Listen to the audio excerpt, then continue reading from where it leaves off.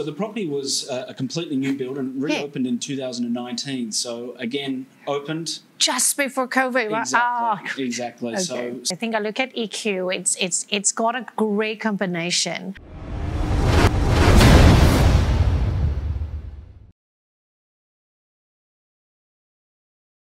Welcome to Hospitality Asia channel on Hapa TV. I'm Jennifer Ong and I'm here today with Mr. Gerard Walker, General Manager of EQ Kuala Lumpur, and we're going to talk a little bit about what EQ has to offer in 2023. So welcome, Gerard. Morning, Jennifer. Welcome. Thanks for having me. Oh, thank you so much for making time. Lovely to see you. My God, after so long. Correct. Ah, so tell me how has it been really? You know um, the last two and a half years and you know up and down closing opening. And um, you know we want to talk about resilience and and you know i just cannot help but say look you want to talk about resilience? Talk to general managers of hotels you know?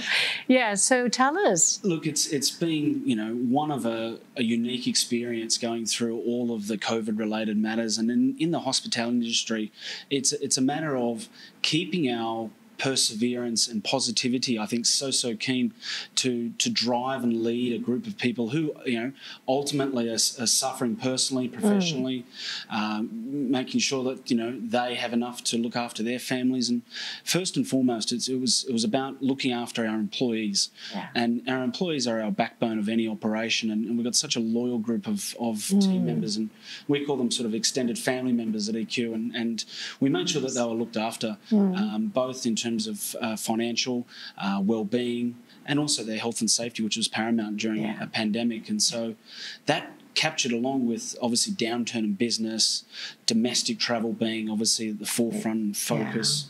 Yeah. Uh, you know, it was it was a different strategies that we had to adopt, mm. and it's something completely out of the out of the playbook. We had to rewrite the playbook, so to speak. Yes, that's right. That's right. I think a lot of you know many hotels or even businesses had to rewrite that. Right. So how did what was rewritten for EQ? Oh, it was, it was a whole new uh, uh, revenue base, you know, mm. staycation. The whole catchphrase of 2022 was yeah staycation. So diversifying your business and making it attractive for the local uh, residents of, of Kuala Lumpur mm-hmm. and extended uh, Malaysia to come and visit your property, come and stay in the mm. city, enjoy yeah. the property, uh, the, the, the wonderful surroundings, and again, give that personalised luxury service that they expect from our brand, but also give them nuances that they wouldn't expect, maybe yeah. shopping experiences. Money can't buy experiences. Yeah.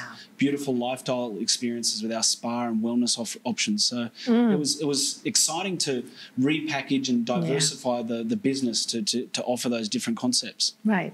And and what kept the hotel going, you know, really? What, what, which part of the business model or which part of the business actually kept a hotel going? Look, rooms rooms was always going to be a challenge. So food and beverage was the backbone, and food and beverage still till today has been the backbone of the operation, offering great service, distinctive mm. product offering, and also offering food and beverage to you. So we, we were driving with catering, outside catering offerings, mm. and mm. different options and different sets, and delivering to the door. So it was completely changing the, the mindset of a hotel right. experience and, and, bringing it to your doorstep in your comfort of your own home, home and safety of your own home. Mm. Um, so many of the guests really took, enjoyed that took, took, the opportunity. And how many F&B outlets do you have now, Joe? So we've got six F&B venues at the moment. So right. it's it's a great offering of different uh, varieties of offering from our Japanese Kampachi, our award-winning Kampachi restaurant, mm. uh, Nipah, which is offering all-day dining, and it's all, all again all the Malaysian fare. Mm. Et, uh, Etoile, our cafe, street side cafe. Mm. Um, Bottega, which is our signature Italian-inspired mm. lounge in the lobby, and then we go to the rooftop, and the rooftop's sensational, nice. Sky 51. So mm. uh, as you can see from the, the footage probably being shown behind us. The, yes, the I know. Footage it's one Beautiful. of a kind, and, and uh, you have Sabayon, our award-winning European restaurant, and also Blue, which mm. offers uh, wonderful live entertainment and also bespoke views of the whole of Kuala Lumpur. Wow, doesn't it sound like a city itself? Like EQ City, the way Gerard is, is, is sharing is like, you know, I could live there. I could literally live in the EQ City. Exactly, exactly. right. Oh, but you know, I mean, I, I just want to also, you know, first of all, Gerard, congratulate you and your hotel for, you know, being nominated uh, for the Hapa Awards Malaysia Series 2022-2023 well deserved, well deserved. You know, I mean, you you've really done so well. The hotel is new. How how new how new is it? So the property was a completely new build and reopened yeah. in 2019. So again, opened just before COVID, right? Exactly. Oh. Exactly. Okay. So so now we're we're at uh, full swing, and it's fantastic to be back and and in operation and, and driving the the market. So it's yeah, exciting. Absolutely. I mean, those of you who I'm sure all of you are, you know, you've been to Equatorial Hotel before, and you know, is looking at that and the new, the old and the new, and now it's just you know everything's beautiful, modern. Love the colors, you know, and so so talk about guest experience. So customer behavior has changed, right? Spanning expanding behavior has changed. Everyone's expecting different things. So, what is going to be new from EQ in 2023 for your guest?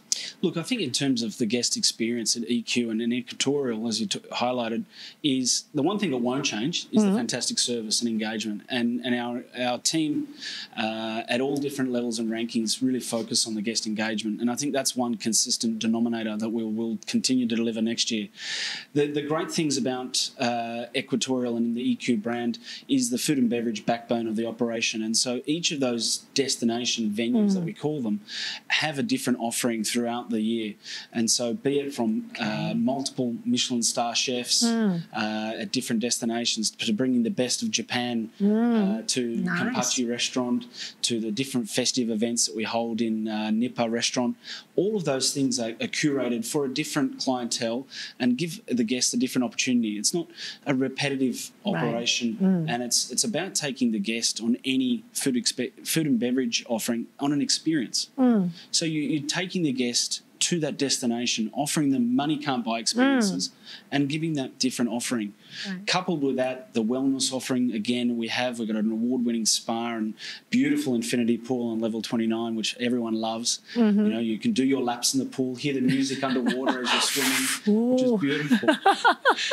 so it's it, it, offers a whole kaleidoscope of offerings. Uh, mm. Again, as you said, the colouring, the offering of the hotel, the finishings of the hotel, it, it's quite tastefully done and, and and timeless. So the guests really really enjoy that. Nice, nice. And talents, I mean, we all know hospitality industry is facing an issue with talents, um, shortage of good talents. How is EQ? We know that EQKL is all about Malaysian hospitality, right? And your team are all Malaysians, they're all locals, right? Correct. So how do you ensure that that, that, that talent is there, you know, and, and enough of people guests get to get the experience, you know, everything is smooth. Um, how is that being put in place? Look, Jennifer, that's an excellent question. I mean, it's all about the branding, and the branding of the property starts with the ethos, the values of the hotel, mm. and what we drive every day when we talk in our huddles, our meetings with our team members, be it from frontliners to the heart of the house mm. to every every aspect of the operation. That message is cascaded all the way through the the different uh, business operation units to ensure that they understand the focus of today. Just one one focus of the day. Mm. They understand that this is the topic we're focusing on across the whole property, and every everyone drives that. And we have mm. 15 of those different uh, concepts and we drive that through. So twice a month, the team are getting uh, exposure to those ideas and it's a repetitive mindset. Mm. Driving a consistent set of values across the property that all of us live, breathe and understand and we communicate with the team mm. and that, that, repetition really helps drive and reinforce the, the malaysian hospitality that you talk yeah. about which eq is so famous for mm. i know isn't it i mean you, we, we, we all talk about um, being you know the service standards having the service excellence having the the malaysian hospitality experience. But then actually then well, how do we get the malaysian hospitality experience if the talents are not malaysians right? And at the same time the challenge is there but you know but again you know i'm, I'm really truly impressed with eq because you know not many hotels will be able to get Malaysian staff and Malaysian talents, 100%, you know. And I must say, I've been to EQ many times, love the way, the, the, the, you know, the, the energy, the service, the people, the smiles. I mean, you go in and you really feel it. And I think that's, that's really something Malaysians should experience, you know, Malaysians and non-Malaysians. But let's talk about, you know, the market that EQ is looking at next year with now international travels opening up, uh, what are the bigger plans from uh, for EQKL? So EQ 2023 and moving onwards, it's at the the upper spectrum of the the profile of the hospitality industry in Kuala Lumpur, and really the property is is benchmarked to be the preeminent corporate clientele destination. Mm. And so we're working quite hard with our network of, of industry uh, contacts to drive that reassurance of the product, the offering, the consistency of service, which is so important mm. that our corporate guests obviously uh, are very attentive and looking for. So throughout the year of 2023, again, we're reinforcing with our corporate clients that need and drive of going the extra step, anticipating those needs, mm. which is something it's inculcated in our team. It's mm. so, so, so important. And it's great to see uh, from the entry level to our senior staff to the heart of the house, every single employee just living those values and driving that focus mm. for our for our clientele saying that the corporate clientele is, is one aspect of the property. Yeah. Uh, you, you're seeing now a lot of demand for travel from mm. the leisure market, and it's great to see uh, closer to home in terms of Southeast Asia, yeah. Australia, and the US markets now traveling as well. Okay. And so the product offers both a mix of corporate offering and leisure lifestyle. Mm. The, the, footprint of the hotel is strategically located in mm. Jalan Sultan Ismail, which is great. Yeah. Close access to retail offerings, leisure activities. Yeah. And so it, it has a multiple offerings mm. for different clientele. So it's great. It's yeah, great. and I think you you know really well said on that part, Gerard, because I think I look at EQ. It's it's it's got a great combination. Like you would go there for the corporate side, but you also do that go there for a lifestyle. I mean, you know, with all the different restaurants and the spa and like oh gosh, you know, uh, you know, yeah, maybe EQ City is where you should be visiting. yeah. So, any last um, message to the audience before we close off from EQ? Maybe something happening during Christmas. Oh, look, the festive offerings. New are, Year. The festive offerings are in full swing, and all of those are available on our websites and, and social media platforms. And so, all of our festive offerings are there. We've got a fantastic uh, chalet-inspired menu for our Christmas and New Year Day events up in Sabayon, and again, that brings back some of the DNA from our past history, a uh, very famous Swiss restaurant. Yes. Uh, all the different uh, food and beverage areas have their festive offerings.